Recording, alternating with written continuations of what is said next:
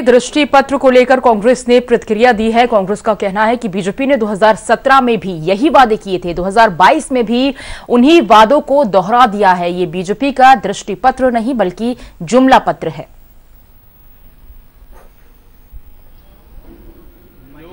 उत्तराखंड के लोगों को एक बार पुनः भारतीय जनता पार्टी ने एक जुमला पत्र दिया है और इस जुमले पत्र का नाम रखा है दृष्टि पत्र। ये दृष्टि पत्र नहीं है, ये दृष्टि दोष पत्र है। क्योंकि जिसको दृष्टि दोष हो जाता है, वो ऐसे ही पत्र लेके आता है।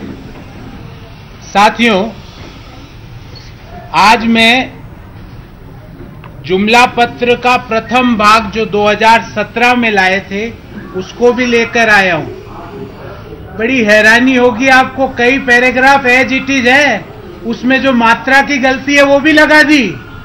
अरे भाई, हिंदी व्याकरण से तो शुद्धि करा लेते। मैं कुछ पत्र इस 2017 के जुमला पत्र से कुछ चीज़ें आपके सामने रखना चाहता हूँ। 2017 का जुमला पत्र अर्थात धोखा पत्र कहता है कि नए मेडिकल कॉलेज हर डिस्ट्रिक्ट में खोले जाएँगे। अभी भी बोल दिया। भाई, पाँच साल पहले भी यही बोला था। फिर बोला गया